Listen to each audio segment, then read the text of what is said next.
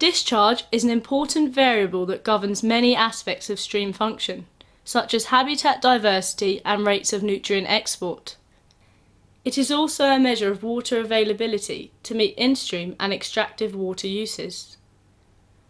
The most common approach to measuring discharge is the velocity area method, which involves measuring the depth and velocity at points across the stream using a flow meter.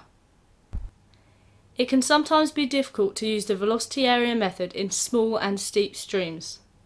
Salt dilution is an alternative method of stream gauging. This involves injecting salt and determining its dilution following complete mixing into the flow.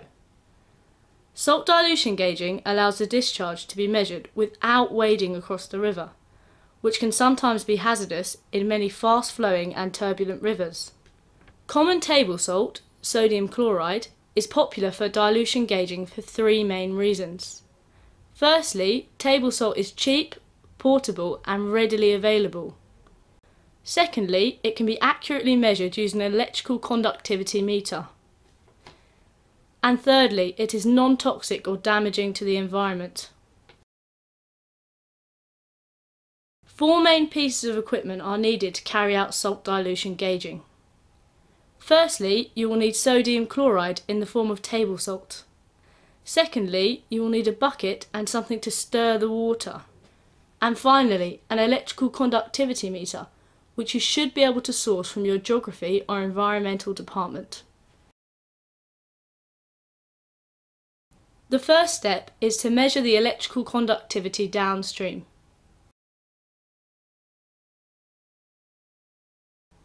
Secondly, you should collect a bucket of water from the river.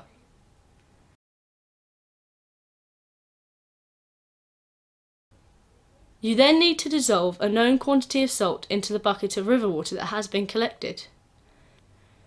Here you can see Rachel adding half a kilogram of salt into the bucket of water.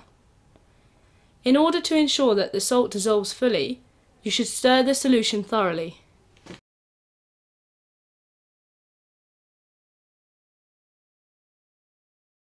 You then need to throw the bucket of river water with the known quantity of dissolved salt into the channel. It is recommended that you inject the solution upstream at a length of approximately 20 times the width of the river. From when the salt is thrown in, take records of the conductivity meter every 5 seconds until the conductivity stabilises and record these results.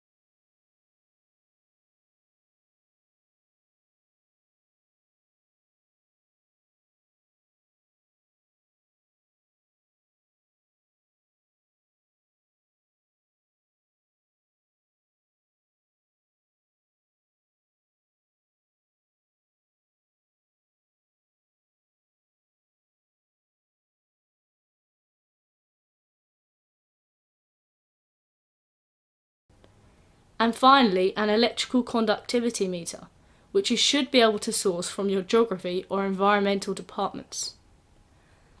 And finally, an electrical conductivity meter, which you should be able to source from your geography or environmental departments. And finally, an electrical conductivity meter, which you should be able to source from your geography department. And finally, an electrical conductivity meter, which you should be able to source from your geography or environmental department.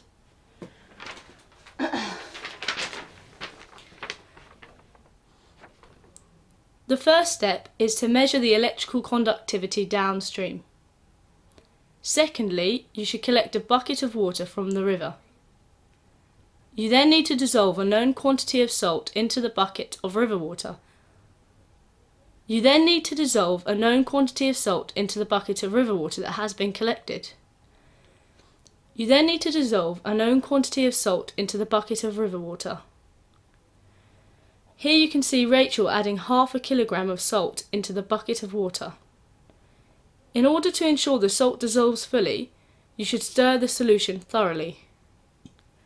In order to ensure that the salt dissolves fully, you should stir the solution thoroughly.